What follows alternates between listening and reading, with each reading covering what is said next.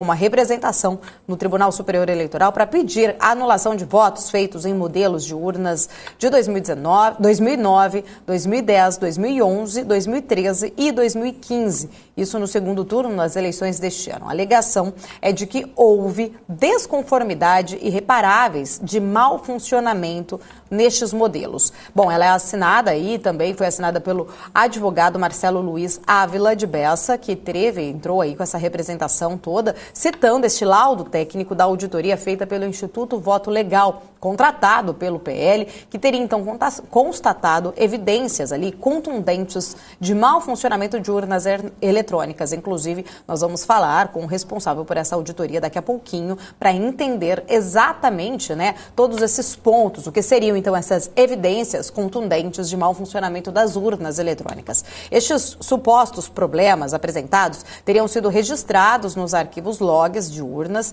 que configuraram então um verdadeiro código de identificação da urna eletrônica.